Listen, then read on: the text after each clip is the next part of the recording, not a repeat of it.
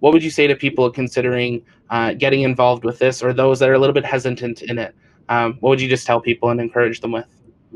Well, look, you, you, you don't have to go to Inspiration 4's website and um, and uh, and make a donation um, uh, and want to go to space. You, you can also just make a donation to support what is a really important cause. I mean, I think that's what the best part about Inspiration 4 is. Uh, why we named it Inspiration 4 is we're trying to inspire, you know, the world as to infinite number of possibilities, what we can do up in space for sure, but also what we can accomplish down here on Earth. I mean, you, you look at the crew members, uh, the, the crew member who op, uh, occupy the seat of hope.